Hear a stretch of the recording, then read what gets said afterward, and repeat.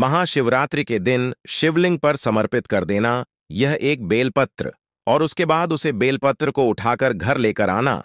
इस बेलपत्र के उपाय जानकर आपके होश उड़ जाएँगे। दोस्तों, यह शिवलिंग पर चढ़ा हुआ बेलपत्र आपकी हर समस्या का समाधान हो सकता है। कैसे आपकी सारी समस्याएँ पल भर में ही दूर हो सकती हैं? ये सारी जानकारी वीडियो के अंत तक आपको प्राप्त होने वाली है। तो बने रहिए वीडियो के अंत तक और चैनल को सब्सक्राइब अवश्य करें। शिवलिंग पर चढ़ा हुआ बेलपत्र खाने से आपको क्या फ़ायदे होते हैं? और खास तौर पर यह वीडियो उन बहनों के लिए है जिनको अभी तक कोई संतान नहीं है। संतान प्राप्ति के लिए वे तरस रही हैं, जिनको पुत्र प्राप्ति की कामना है। साथ ही इस वीडियो में जो उपाय मैं आपको बताने जा रहे हैं वह बेल पत्र वाला उपाय इसको आप कर लेना है। इससे आपको शीघ्र से शीघ्र मनचाही संतान प्राप्त होगी। सबसे पहले दोस्तों, अगर आपने अभी तक मेरे इस चैनल को सब्सक्राइब नहीं किया है तो तुरंत सब्सक्राइब करके पास वाला बेल आइकन प्रेस कर दीजिए, ताकि आपके निजी जीवन से जुड़ी हुई हर समस्या का समाधान। जो मैं रोज बताता हूँ, सबसे पहले वह आपको मिल सके और कमेंट बॉक्स में हर हर महादेव तुरंत लिख दीजिएगा। देखिए, जो बेलपत्र होता है वह भगवान शिव का सबसे प्रिय चीज़ होता है। बेलपत्र त्रिदेव का वास माना जाता है। यानी कि ब्रह्मा, विष्णु और महेश का इसी के अंदर वास होता है, उनका स्वरूप माना जाता है। इसे इसलिए बेलपत्र से बहुत ज़्यादा फ़ायदे होते हैं। शायद आप लोगों को मालूम ना हो, अगर किसी व्यक्ति का शव बेलपत्र के वृक्ष के नीचे से होकर गुजरता है तो उसको सीधे तौर पर मोक्ष की प्राप्ति हो जाती है।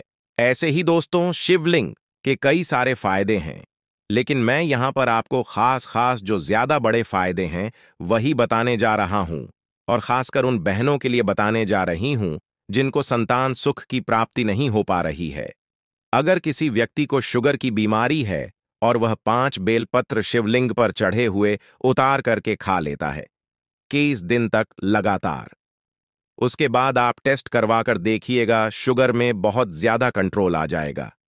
ऐसे ही दोस्तों, अगर किसी व्यक्ति को गठिया रोग है, चर्म रोग है, अगर वह एक बेलपत्र शिवलिंग पर चढ़ा हुआ नित्य प्रतिदिन खाता है तो एक महीने लगातार तो उस व्यक्ति का गठिया और चर्म रोग जड़ से समाप्त हो जाता है। इसी प्रकार आँखों के लिए भी यह बहुत ही चमत्कारी माना जाता है। लेकिन आज मैं इस वीडियो में उन बहनों को, जिनको संतान प्राप्ति चाहिए तो वह इस इस उपाय को बहुत ध्यान से सुनिए और समझ के कीजिएगा। और बेलपत्र का यह उपाय करने से आपको संतान प्राप्ति ही नहीं, बल्कि सुयोग्य संतान की प्राप्ति होगी, जो आपकी हर मनोकामना को पूर्ण करने वाली संतान होगी। तो आपको क्या करना है? सबसे पहले शिवलिंग के पास जाना है और बेलपत्र टारगेट के जो तीनों पत्ते होते हैं, उनके ऊपर आपको तिलक करना है। शिवलिंग पर तिलक करने के लिए आपको लाल चंदन का प्रयोग करना है। और जो ये तीनों पत्ते हैं इनके ऊपर भी आपको लाल चंदन से ही तिलक करना है। इसके बाद वहीं पर बैठकर 108 बार यानी एक माला आपको ओम नमः शिवाय का जाप करना है। भगवान शंकर से संतान सुख के लिए प्रार्थना करनी है और पूजा करने के बाद उस बेलपत्र को घर लेकर आ जाना है। अब भगवान शंकर का ध्यान करते हुए उस बेलपत्र को जिसके ऊपर आपने तिलक लगाया था, उसे आप अपने पेट यानी कि नाभि के ऊपर रखकर सो जाइए। और दूसरे दिन इस बेलपत्र को किसी भी गमले में आपको डाल देना है। मिट्टी के अंदर दबा देना है। आप मान के चलिए, शीघ्र ही आपको संतान प्राप्ति होनी निश्चित है। इस उपाय को लगातार आपको सोमवार के सोमवार करते रहना है। जब तक कि आपको संतान सुख की प्राप्ति नहीं हो जाती है। जब भी शिवलिंग से बेलपत्र उठा रहे हैं, उससे पहले भगवान शंकर का पूजन आपको अवश्य करना है। ओम नमः शिवाय का जाप करना है। एक माला आपको वहीं पर बैठकर जपनी है। देखिए, जिन लोगों को वंश वृद्धि नहीं नहीं हो पा रही है, या पुत्र की प्राप्ति नहीं हो पा रही है तो उनको पुत्रदा एकादशी के दिन भगवान शंकर का पूजन अवश्य करना चाहिए। महाशिवरात्रि के दिन इस उपाय को अवश्य करना चाहिए। महाशिवरात्रि और पुत्रदा। एकादशी के दिन आपको क्या करना है शिवलिंग से? आपको दो बेलपत्र उठाकर ले आने हैं और एक बेलपत्र को, स्त्री को, वहीं पर। शिवलिंग के पास में ही मतलब मंदिर से ही ग्रहण कर लेना है, उसको चबा चबा कर खा लेना है, और आपको एक उपाय करना है। और जो दूसरा बेलपत्र है, अगर आपका पति साथ नहीं है, अगर घर पर आपके पति नहीं है तो आप उनके लिए घर पर बेलपत्र लेकर आ जाएँ, और एक बेलपत्र उनको खाने के लिए दीजिए, ताकि वो भी उसे चबा चबा कर खा पाए।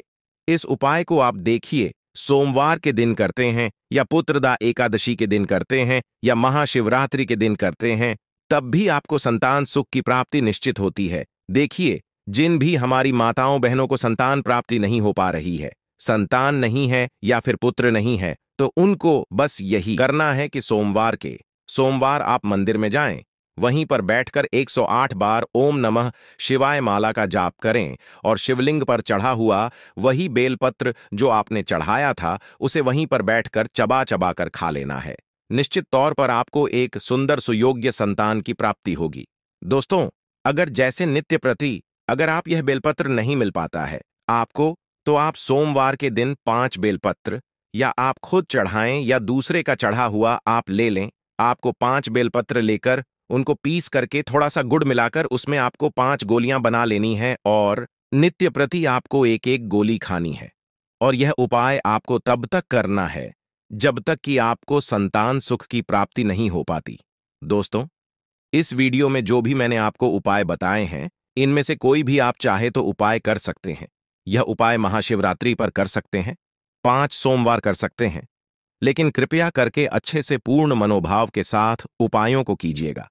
ज़रूर निश्चित तौर पर आपको संतान सुख की प्राप्ति होगी। इस वीडियो को ज़्यादा से ज़्यादा उन माताओं, बहनों के साथ ज़रूर शेयर कीजिए, जो संतान सुख की प्राप्ति होगी। इस वीडियो को ज़्यादा से ज़्यादा उन माताओं, बहनों के साथ ज़रूर शेयर कीजिए, जो संतान सुख के लिए तरस रही हैं। आपका छोटा सा शेयर किसी के कष्टों को दूर कर सकता है, उनके वंश की वृद्धि कर सकता है। और ऐसे में आपको भी पुण्य की प्राप्ति होती है। वीडियो पसंद आया है तो वीडियो को लाइक करके चैनल को सब्सक्राइब और पास वाला बेल आइकन ज़रूर प्रेस कर दीजिएगा। मिलते हैं एक नई जानकारी के साथ। ओम नमः शिवाय।